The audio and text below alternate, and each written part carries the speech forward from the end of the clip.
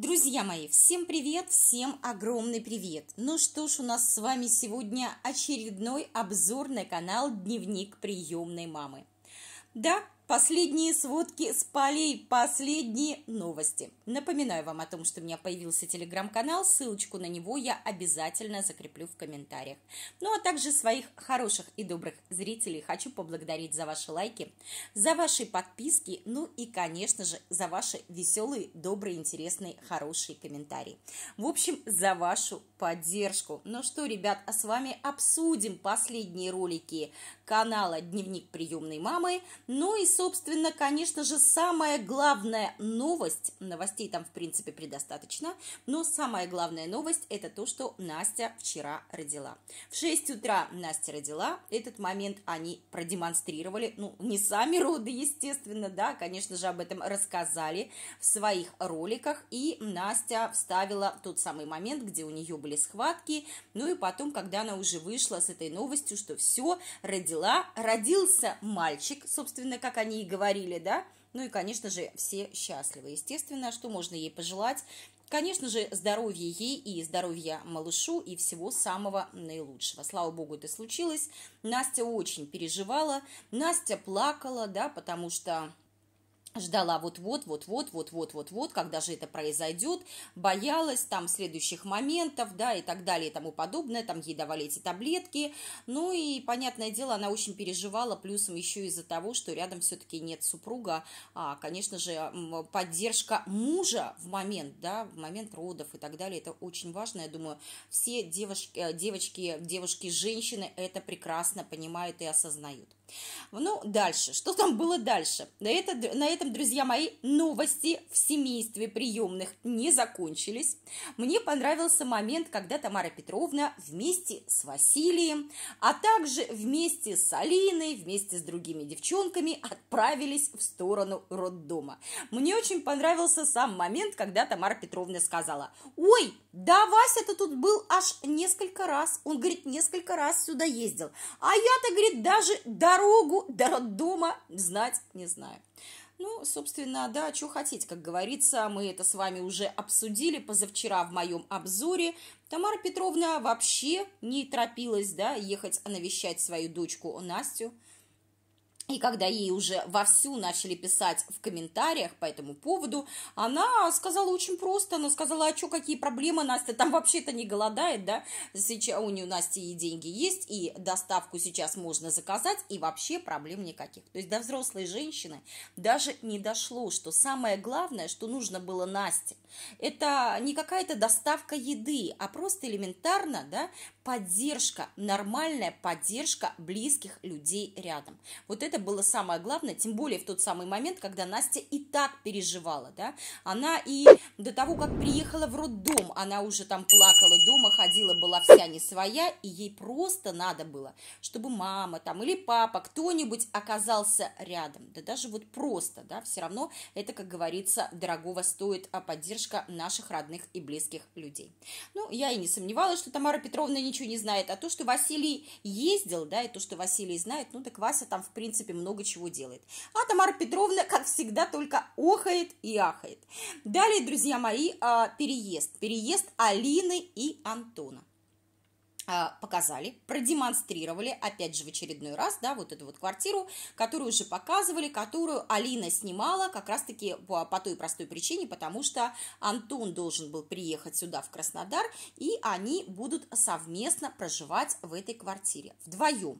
Алина вместе с Антоном. Переезд этот а, состоялся, то есть они таскали вещи, перевозили эти вещи, да, а Василий помогал, конечно же, таскали эти вещи туда-сюда, но, по крайней мере, в планах у них а, только на полгода, так сказал Антон, что вот через полгода они, мол, обязательно поедут в Сибирь. Не знаю, произойдет этот момент, не произойдет этот момент.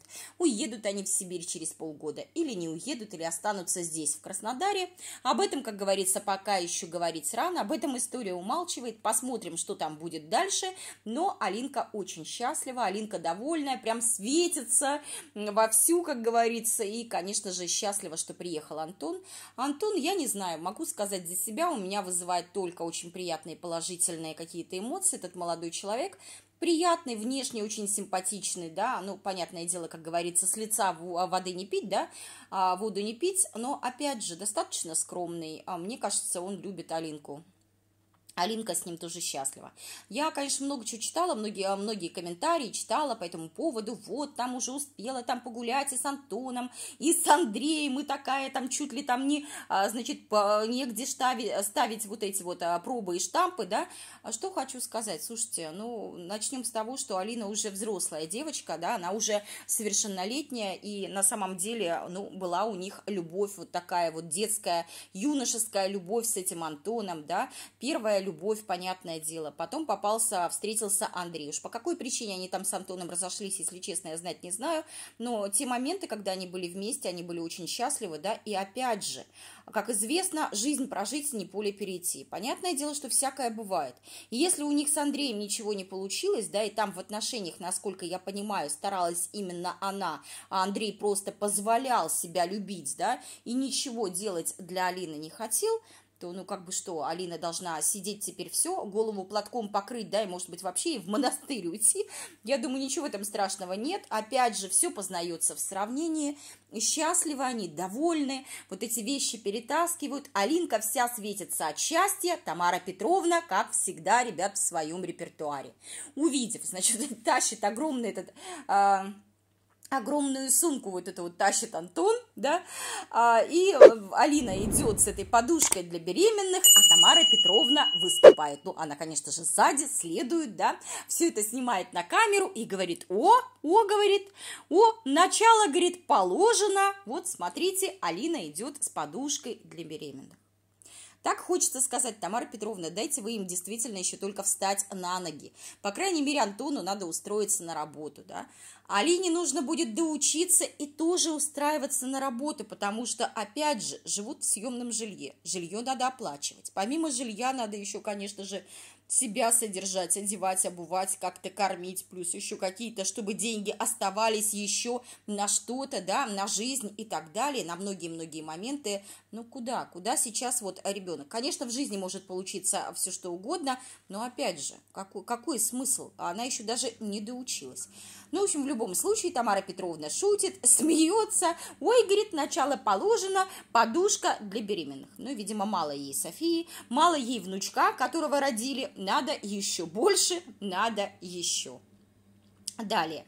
Далее, а, значит, что там а, было? А, заехали, заехали они потом в торговый центр, все, значит, а, перевезли вещи Алине, Антону, а, перевезли, перевезли вещи на новую квартиру, значит, ну и поехали, поехали в торговый центр, заехали а, Василий вместе с Тамарой Петровной, вместе с Софией и вместе с Томой. И тут же, конечно же, уже зашли, естественно, поесть, все как обычно, в добрых традициях. Ну и у Тамары Петровны я смотрю, настроение просто огонь, друзья мои. Про все свои болячки, про все свои моменты Тамара Петровна тут же забыла. Как говорится, плохое настроение, оханье, аханье, как рукой сняло. Знаете, все это осталось за кадром. Тамара Петровна смеется, радуется, да. Ну, собственно, что, настроение замечательное, настроение шикарное. Это только дома у нее постоянно, ой, все болит, ой, как бабка старая, там это туда-сюда, все ноет, ноет, ноет. Как только она появляется где-нибудь в своей стихии, в торговых центрах, там по кафешкам, по столовым, у Тамары Петровны буквально открывается второе дыхание.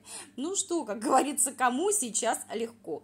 Вы знаете, ребят, а, что хочу еще сказать, да, вот читаю комментарии, которые пишут на моем канале, а, ну, некоторые комментаторы, да, которые пишут мне постоянно там какие-то вот а, такие комментарии следующего содержания, что вот, мол, так и так, да детям и так повезло а, с этой семьей, с этими родителями, а вот, а вы попробуйте взять, да, прежде чем, значит, как-то комментировать эту семью, а вы попробуйте взять такое количество приемных детей, а вот вы-то что сделали, а вот вы-то хоть одного ребенка взяли. Вы знаете, что я хочу ответить на подобные комментарии?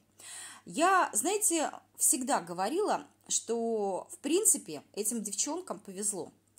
Им повезло, потому что, опять же, все познается в сравнении. То есть а приемные семьи бывают и намного хуже. Да? Опять же, где-то бывает лучше, а где-то бывает еще хуже.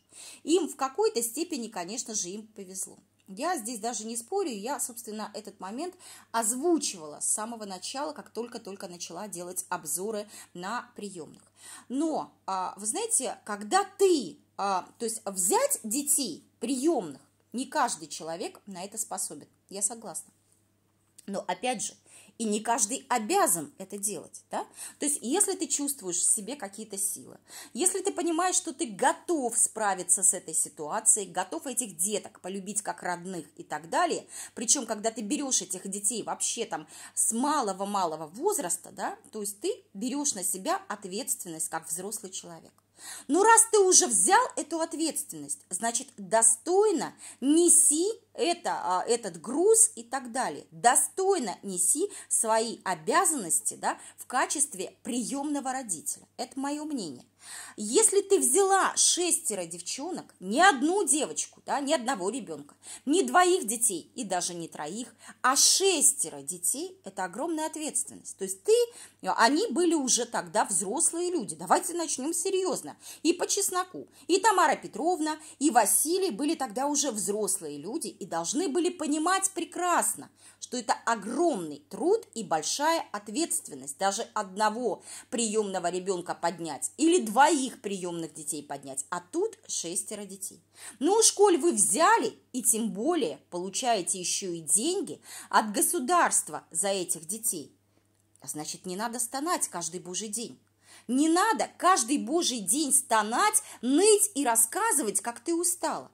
Я вот, знаете, вот просто э, исходя из интересов вот этих вот девочек, я прекрасно понимаю, девчонки живут и каждый день слышат, да, что Саша, что Женя, что Тома, да, Другие дети тоже, но я сейчас говорю вот про этих девчонок, которые вот живут сейчас с Тамарой Петровной. Они каждый день, ребят, просыпаются и каждый день с утра слышат, как мама начинает стонать. Вот, тут я устала, тут у меня сил нет и так далее. И у девчонок может появиться комплекс, да, что это вот они всему виной, что мама так устает, и вот им надо, да, что-то там делать и так далее. Такого быть не должно. Уж коль ты взяла и пошла на столь осознанный шаг, взять приемных детей детей вместе со своим мужем, значит, ты должна была понимать всю, вот все, все, да, всю вот эту вот зону ответственности, которая лежит теперь на ваших плечах. А писать комментарии мне или моим другим зрительницам, там, девушкам, женщинам о том, что «а вот ты возьми сначала...» Зачем? Во-первых, вы знать не знаете, а, да, а, наши истории, наши судьбы мы про себя не рассказываем, это раз. Во-вторых, да, если уж ты взяла, значит, неси ответственность. А если ты а, не можешь, значит, нечего было и начинать, нечего было и брать. И не надо нам сейчас пенять, вот вы не взяли, а она взяла. Если она взяла, значит, пусть будет добра нести ответственность, по крайней мере, достойно до совершеннолетия этих девчонок. А то со стороны выглядит так. Я помню прекрасно эти ролики. Я говорила, что я смотрела их долго, долго смотрела, прежде чем начать делать на них обзоры. Я помню прекрасно, когда она рассказывала о том, как она уговаривала Настю взять уже оставшихся девчонок. Да, она сказала, Настя, если мы возьмем этих девочек, то папа не будет больше ездить на вахту и работать. То есть у тебя был еще меркантильный интерес. Не просто так она взяла да, в приемную семью. Она взяла, зная, что государство платит хорошие деньги за приемных детей. Она взяла это не просто так, вместе со своим мужем. Правильно? Правильно. Раз взяла, значит, как бы будь добра, как говорится. А то получается очень интересно, что детей набрать набрали, уже сил никаких нет, желания нет, и она постоянно ноет, как вот это вот, знаете, как нытик самый настоящий. А кто это выслушивает? Мы-то зрители послушали, закрыли и дальше пошли. А девчонки-то это выслушивают каждый божий день с утра до ночи. И со стороны выглядит ситуация так, что денежки за деток мы получать хотим – Плюс этих же деток еще и снимают, как говорится, да, а, на YouTube-канале. То есть дети зарабатывают в первую очередь, понятное дело, приходят посмотреть на детей.